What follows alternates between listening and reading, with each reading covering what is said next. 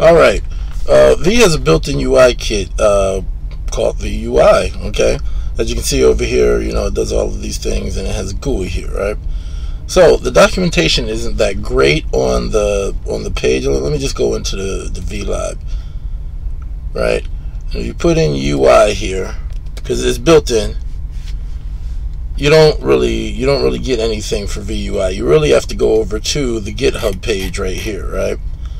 And with this, you basically have to read through the code and, and learn from reading the code. And, and that's pretty much that, right? And, you know, they've got some examples, you know. So, let, let, okay, let's get into it, right? All right, so first what we got to do is we got to import, uh, wrong one. We have to import UI, import UI, okay?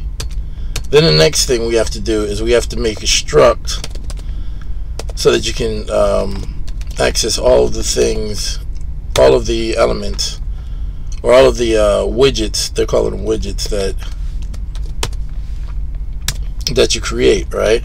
And then what you're gonna do here is you're gonna put a window,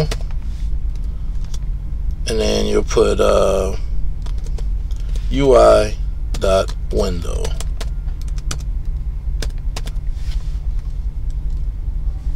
Okay. Okay, so you got UI.window there, right? Alright, and then you make your main function, fn main. Okay. Alright, and then after that you have to uh, clear your variable. Mute app equals or reverse operator app. And then alright, this has to be and this has to be a reference right here. Okay, app. Okay, so in here you put window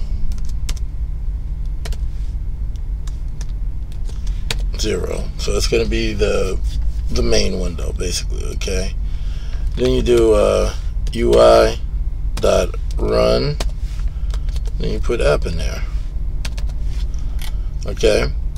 So we got that going. We got that going last, right? Now you want to make your app window. App dot window equals oh, this already it's already declared, so we don't have to do that. Okay, and then we put UI dot window, and this is the pattern right here. We put a comma window. this is the pattern right here, right? Alright, so, and what you put inside here is you can put height.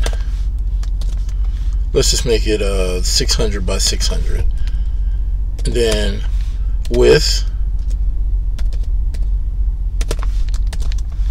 Then 600. Okay. We put state, which is going to refer to this app right here because you're gonna put all of the all of the variables that you need inside of this global space. We'll show you how to do that in a minute, okay? Right, and then we can actually put this up here, but we can put it whatever. So we'll put title.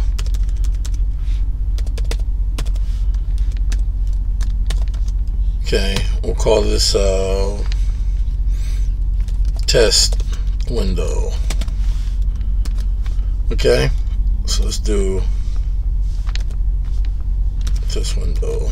Okay, so oh, why didn't come up? All right, run, and this is hello.v. All right, this UI.run app and this dot window. Okay, so let's save this. All right, we'll run it again.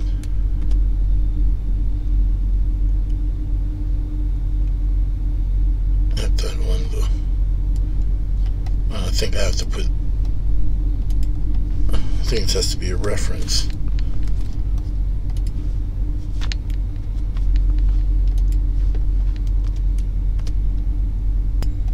Alright I, uh, I had this spelled wrong right here so put that dot window in there right?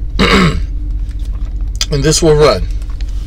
Okay so v dot run hello voila we have a window okay all right one of the other things that's uh, cool about one of the things I wanted to show you was how to um, how to add a background color.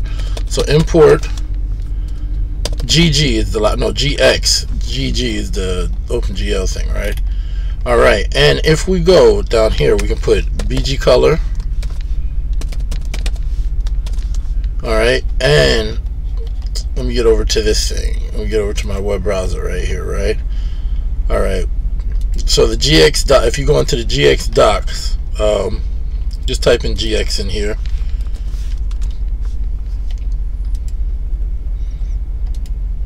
Okay and you'll see that there's a bunch of base colors. You can get a color from RGB you know color from string color from hex color from RGB but what we're gonna do is we'll take uh, let's go with let's go with indigo right so what we'll do is we'll put uh, put gx.indigo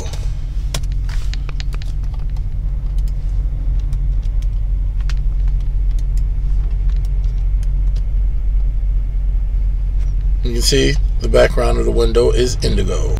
Okay, now we're going to put a label up, right? A label that says hello world, of course, right? Uh, I ran into some issues with this, right? I had, uh, basically what I tried, I, I, I, was having issues trying to center it on the screen or center hello world on the, on the, um, on widget. And I updated to a, I updated to the nightly version of, of V and or VUI as well. And it actually it broke some things, but you know this this is an open source project. It, it's definitely in beta. It's got a long way to go. However, you know it's being worked on. It's being worked on. You know you can see that commits are being done weekly and nightly and stuff like that. So it's okay. But I'm going to change the color back to white just so we can we can see what I'm doing here, right? Okay, so now we'll go over we'll go over to here, right? and uh, this is this is the v uh, VLang UI GitHub repo, right? And see, whenever you want to learn about a component, right, just go. Where is it at? Okay, so we're gonna put a label. So we see uh, widget v label, okay, right? So you can see all the properties that it's gonna take and uh, you know basically to change the color of the text you use this property right here but because of the new version it, it for some reason is not working I'm, I'm gonna go into discord and see if I can get them to uh, possibly do something about that okay alright but let's go back over to the code right alright so whenever we want to put a label in there or put in any other widget right we start up here. So label that's what we'll call it uh, label yeah oh come on now. Okay label and then it's going to be you're going to set a reference to UI dot label okay? And then when after that right you have to initialize it down here right?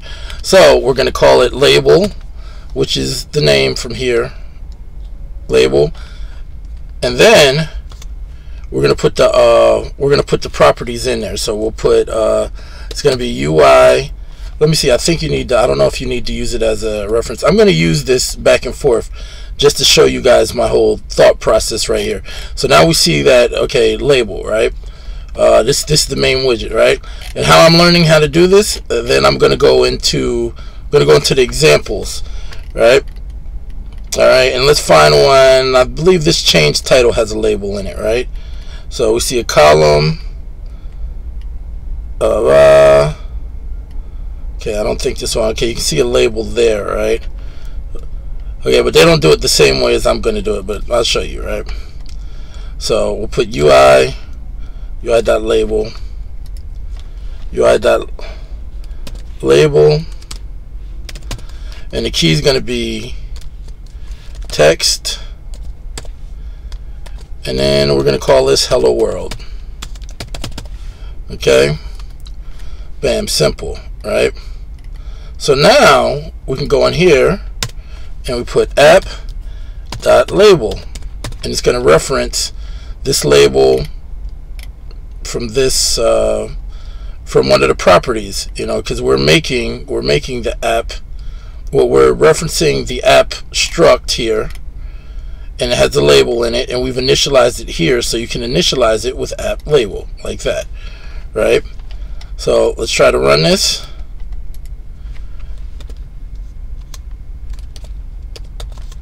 And this is uh hello.v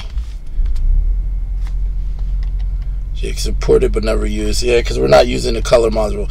You can see hello world is there right okay now, uh, I was trying to align the text center, right? So, way you lay things out in here is you lay them out in the columns and rows. There's a couple different layout managers. That's probably going to be in the next video, but I'm gonna give you a, a, a I'm gonna give you a, you know, get your feet wet on this one right here, right? So what we do is we put a UI dot column, okay, and then it's kind of just like it's like Flutter if you know Flutter, right? Children, and then uh, we'll just put app.lay. I, I think you can put it more than once. Let me see what happens, right? If I do it this way. It should should do it uh, what is it vertically and this has to be small or has to be so let's clear this out Okay, okay, so it only does it one time, right? So it's making a reference to one time, right? So it won't that won't work.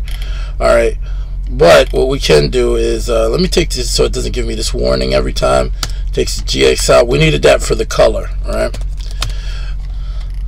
All right, so we, we can we can also just do this right here, right? We'll put UI the label, and then we'll put text and then we'll call it uh, hello world 2 okay?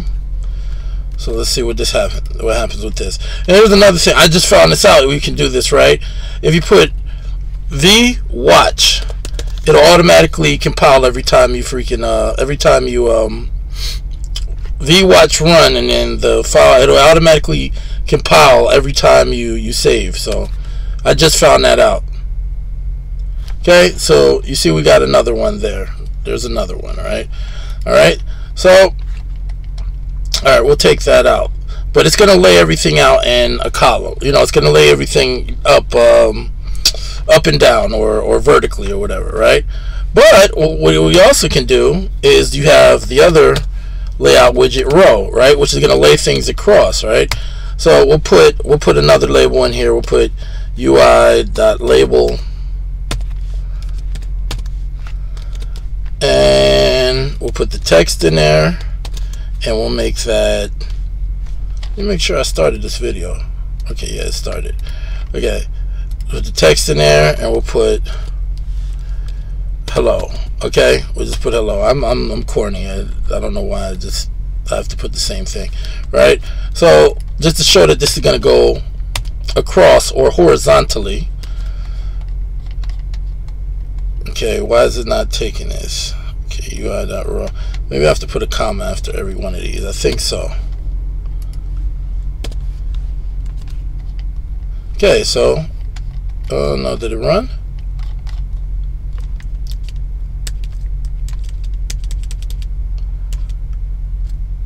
Alright, let me stop this. Let me figure out what's going on here. I'm going to take this watch out so I can see it run one time. Oh, oh, oh, okay, I see what I did. All right, you also have to do uh, children here. Okay.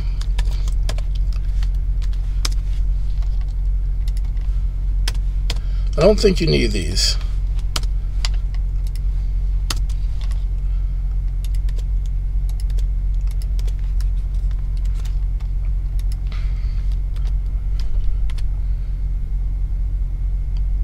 Okay, you see that it did it across, right?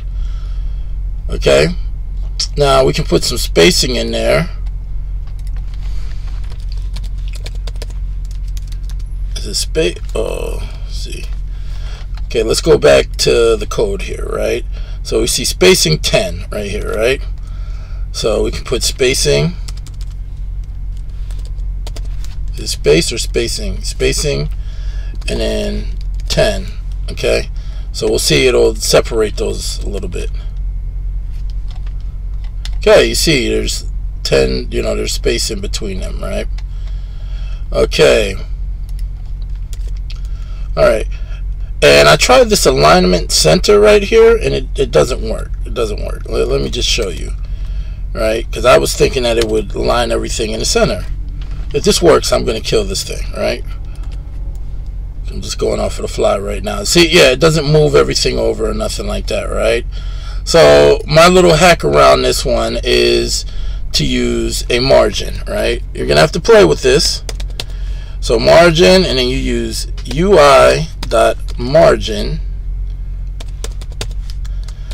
And then we're gonna put uh let's put uh 100 I think this is up and down 100 100 100 all right let's see what we got there. Now I'm gonna go back to running it with that watch thing because this one I'm gonna play with the numbers a little bit. Okay you see it's it's moving it over right? So I know this one and I, I can't find any documentation on this right? So let me put uh, 250 so I'm just kind of making this up as I go there we go. All right and you see you see that's about the center or whatever or, you know give or take. But this is how you can kind of move things around. And we could drop this back uh, and we could drop this down to 250 here too. 250 try to get it somewhere in the middle of the screen. Okay and you see we got it in the middle of the screen basically here right uh, you know the six uh, you can see that it's 600 where where's it at where's it at the height and the width are 600 by 600 I put 250 in there because uh, the, the the widget itself is going to take up some space so it's, it's pretty close to the center right all right and I'm going to end the video on that um, I'm going to do a series of this. Uh, I'm going to keep going with this and make a series out of this, and then maybe throw in a couple real, you know, real apps in there. So stay tuned. Thanks for your time and attention.